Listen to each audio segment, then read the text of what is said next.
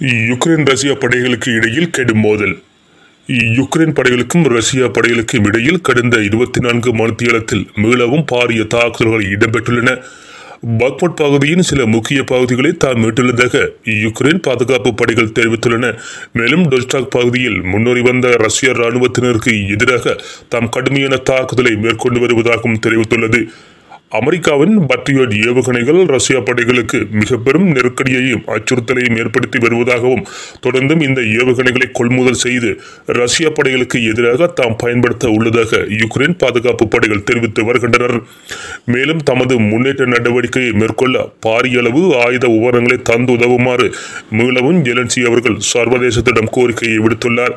America Germany என்பன பாரியளவு ஆயுத தொகுதிகளை தருவதாக ஒப்புதல் அளித்த பின்னர் இந்த கோரிக்கை விடுத்துள்ளமை குறிப்பிடத்தக்கது. இஸ்ரேல் ஆளும் அதிபரை வீட்டுக்கு செல்க மக்கள் போராட்டம் முத்துவைக்கு உள்ளான தலைநகரம். இஸ்ரேல் தலைநகர் டெல்லவி மீது பத்தாயிரத்துக்கு மேற்பட்ட மக்கள் ஒன்று திரண்டு ஆளும் நெத்தன்ஜாவுக்கு எதிரான போராட்டத்தை நடத்தி கொண்டிருக்கின்றனர்.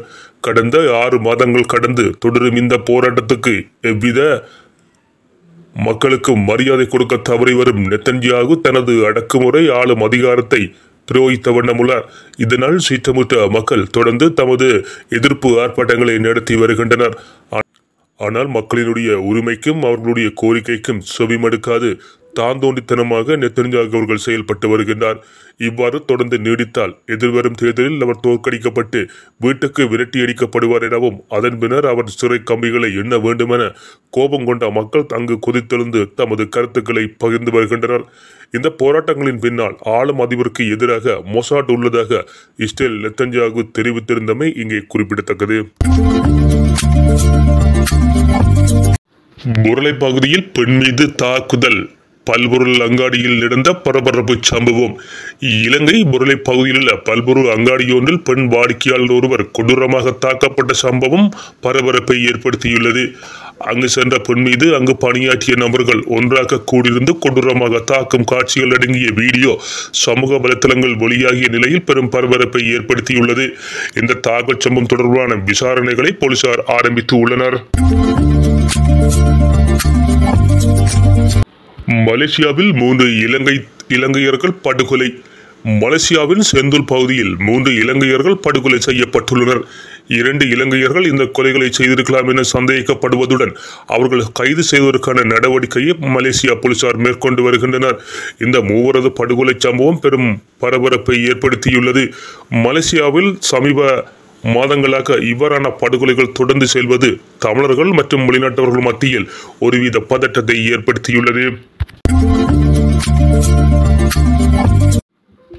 பலஸ்தீனம் மேற்கு கரையில் இஸ்ரேல் வெறியாட்டம். இரண்டு பலஸ்தீனர்கள் சொட்டு படுகொலை மேலும் பலர் படுகாயம்.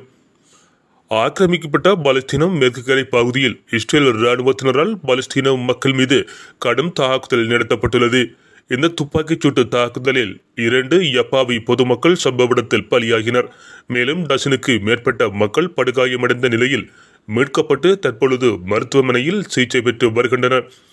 ஆக்கிரமிப்பு இராணுவமாக விளங்கி வரும் இஸ்ரேல் தொடர்ந்து நடத்தி வரும் வன்முறை தாக்குதலினால் அப்பாவி பொதுமக்கள் வீடுகள் சொத்துக்கள் மனித உயிர்கள் என்பன அளிக்கப்பட்டு வருகின்றன. தொடரும் இந்த வன்முறை தாக்குதலுக்கு எதிராக எந்த ஒரு நாடங்களும் கண்டனமோ அல்லது இஸ்ரேல் ஆக்கிரமிப்புக்கு எதிராக நடவடிக்கை எதனையும் மேற்கொள்ளவில்லை என பாதிக்கப்பட்ட மக்கள் கண்ணீர் மல்க கருத்துக்களை தெரிவித்து வருகின்றனர். 嗯。